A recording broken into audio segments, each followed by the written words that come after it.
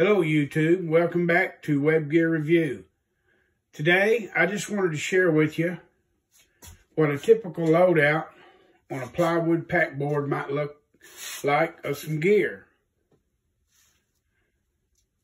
These babies was used from World War II, Korea, and Vietnam.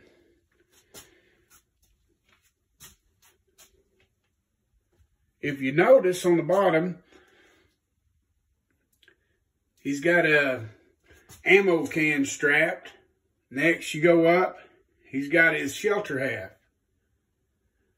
And then at the top, on top of the shelter half, he's got an M1945 pack, combat field pack,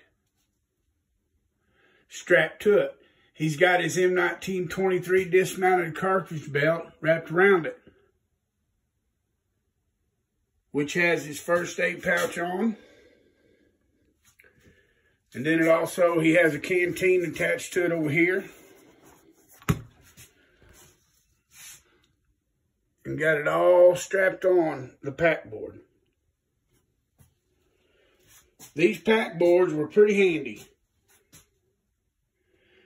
I've seen different pictures in all three of the different wars it was used in where they had similar loadouts just like this these things can carry virtually anything if you could strap it on there. And you could get it on your back, you could carry it.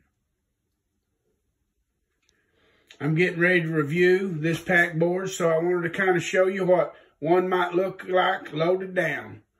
Thanks for watching the Web Gear Review.